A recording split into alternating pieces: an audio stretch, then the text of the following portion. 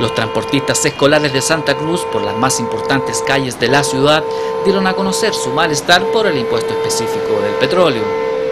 Aunque no se adhirieron físicamente al paro de los camioneros, esperan el mismo trato por parte del gobierno.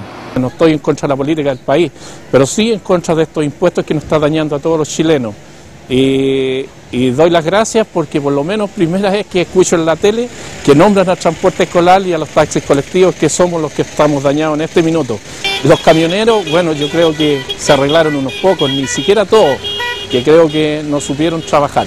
Es como para dar señales que realmente estamos mal, o sea, no creo que estamos en contra de nadie, sino que es realmente que estamos mal y conversaba yo con los colegas de la FENTETUSH, se reunieron en Santiago, conversé con los de la dirigente de la CONFACTEC, también se reunieron en Santiago y hicieron también sus pequeñas caravanas pacíficas, en Rancagua también, y escuchaba que para el norte también estaban los colegas en caravanas pacíficas.